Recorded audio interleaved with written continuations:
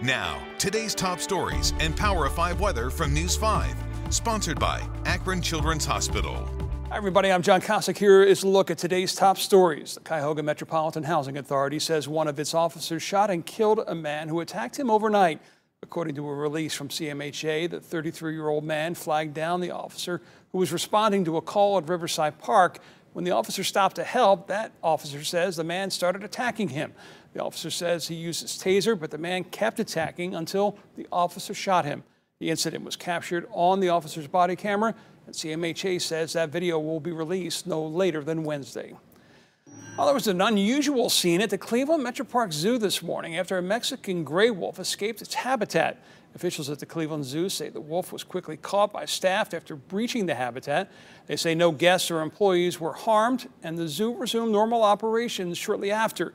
The incident is now under investigation. Here's Mark with the forecast. All right, John. Well, green means rain. Look at all the rain, East Coast, all the way down to the south. For you and me, we're trying to dry you out, but I still can't get totally rid of the rain until probably early Wednesday.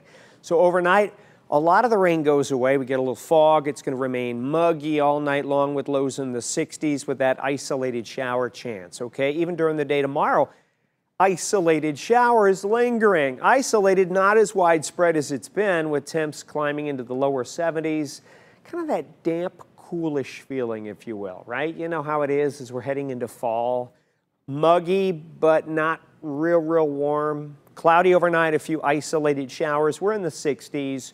73 on Tuesday, a little cool-ish spot shower. Wednesday, a brief early shower, and then we're going to dry it out. Abundant sun for the afternoon, 76. Thursday, 78. There you go, nice day. Maybe that should be rescheduled Labor Day. Let's do that. 83 Friday, 82 Saturday, Sunday, wet, 77. Sponsored by Akron Children's Hospital.